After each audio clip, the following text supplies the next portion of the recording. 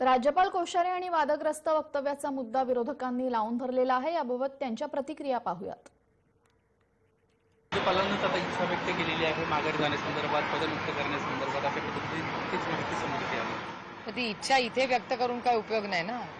ती जिथे करायला पाहिजे त्यांनी प्रेसिडेंट ऑफ इंडियाला राजीनामा द्यावा. संपला विषय. त्याच्यात काय?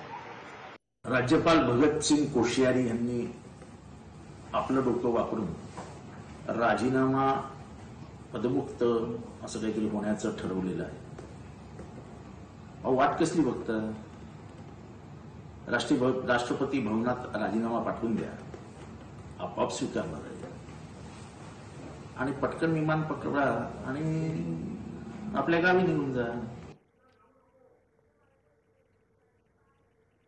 केलेली सूत्रांची माहिती आहे भाजप तो राज्यपालांचा विषय आहे पण त्यांनी आता हे वक्तव्य थांबावे अशी हात जोडून विनंती आहे. मला असं वाटतं महाराष्ट्रामधलं एकंदरीत जे वातावरण सध्या आहे त्यांच्या विरोधात त्याच्यामुळे ते सुटकेचा मार्ग शोधत आहे असं असावं मी खात्रीनं सांगू शकत नाही. शिवसेनेनं सुद्धा बंदचे संकेत दिलेले आहेत म्हणजे इतर विरोधी पक्षांसह महाराष्ट्र विकास आघाडीने.